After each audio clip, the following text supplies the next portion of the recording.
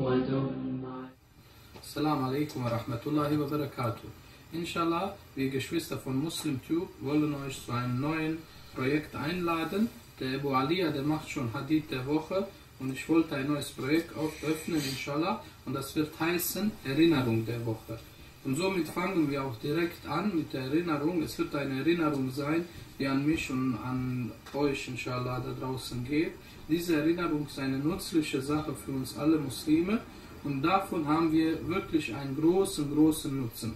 In dieser Erinnerung, natürlich ist das auch ein Hadith des Gesandten sallallahu alaihi wasallam in diesem Fall, und das ist ein Hadith, den Mu'ad ibn Jabal berichtet.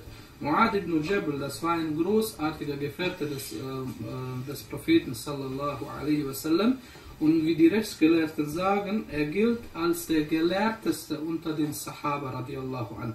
Er gilt als der Gelehrteste unter den Sahaba radiallahu an. Sogar Ibn Taymiyyah bezeichnet ihn als ein Stern der Sahaba.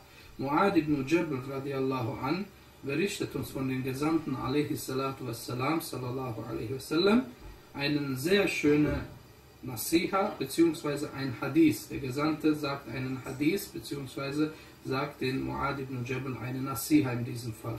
Er sagt, O Mu'ad, fürchte Allah, wo immer du bist und lasse eine schlechte Tat eine gute folgen, sie wird die schlechte Tat auslöschen und behandle die Menschen mit gutem Benehmen. Überliefert der Tirmidhi.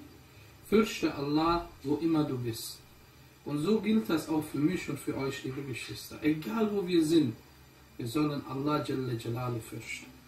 Weil Allah Jalla Jalalu uns sieht.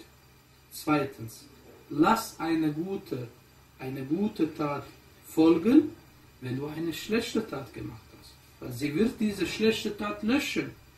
Wir sind Menschen. Ich habe es oft gesagt, wir sind keine Melks. Sind auch keine Haibans. Sondern wir sind Menschen. Und wir begehen schlechte Taten. Aber dafür, wir sind Muslime. Und wir sind Mu'mins. Und wir haben immer einen Joker. Das ist die gute Tat.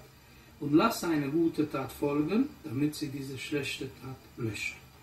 Und als letztes sagt er, und behandle die Menschen mit gutem Benehmen. So wie ich mit gutem Benehmen von anderen behandelt werden möchte, so will auch jeder aber Mensch mit gutem Benehmen behandelt. Also werden wir die Menschen mit gutem Benehmen behandeln. Denn das ist eine Psychologie, die der Koran und die Sunna uns lernt. Dass wir die Menschen mit einem guten Benehmen behandeln. Denn das gute Benehmen kann wirklich die Herzen drehen. Jazakallahu khairan. Das war die Nasiha oder beziehungsweise die Erinnerung der Woche von Abu Muawiyah. Barakallahu fikum. السلام عليكم ورحمة الله وبركاته.